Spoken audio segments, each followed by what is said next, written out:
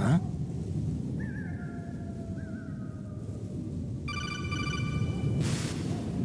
Colonel, listen to me. I found a parachute near the wreckage of the Hind. A parachute? You don't think that Liquid survived? Impossible.